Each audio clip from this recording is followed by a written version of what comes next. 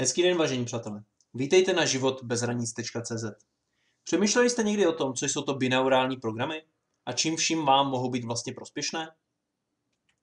Zamýšleli jste se někdy nad tím, jestli existuje nějaká technika, která by vám pomohla realizovat vaše novoroční předsevzetí? Která by vám pomohla třeba naučit se cizí jazyk? Nebo by vám pomohla změnit návyky, kterých se chcete zbavit? Existuje něco, co by vám pomohlo vytvořit návyky nové? Taková technika existuje. Dokážou to právě binaurální programy. A nejen to. Dokonce vám pomohou zlepšit vaše osobní i pracovní vztahy, zbavit se stresu a vylepšit vaše zdraví.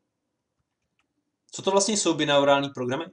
Jsou to speciálně sestavené zvukové soubory, využívající nejnovějších poznatků o ovlivňování mozkových vln binaurálními byty. Jde o zvukové signály s rozdílnou frekvenci, které přivádíme odděleně do pravého a levého ucha. Tím, že náš mozek zpracovává prostorový zvuk, je velmi citlivý na frekvenční odchylky vnímaného zvuku. Díky potřebě zpracovat od takové odchylky v prostoru, snaží se náš mozek vyrovnat tyto odchylky, odchylky tak, že vytváří frekvenční most mezi pravou a levou stranou. Vedlejším produktem je změna frekvence mozkových vln, na kterých mozek realitu zpracovává. Binární rytmy jsou tedy tóny s rozdílnou frekvencí zakomponované do hudební skladby.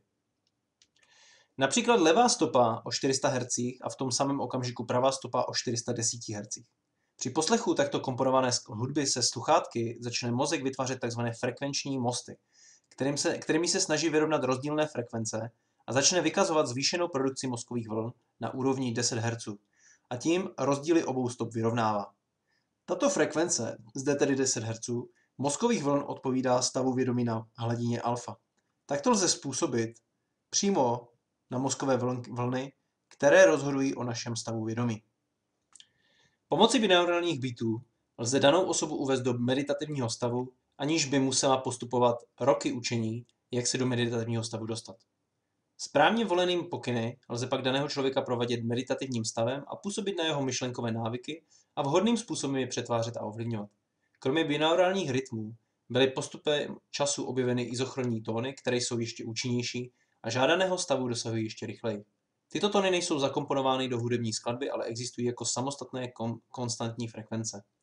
Do uší se tedy pouští tóny s mírně rozdílnou frekvenci. Existuje množství nahrávek jako binárních bitů, tak izochronních tónů, které pracují s různými frekvencemi a navozují nám odpovídající stavy vědomí.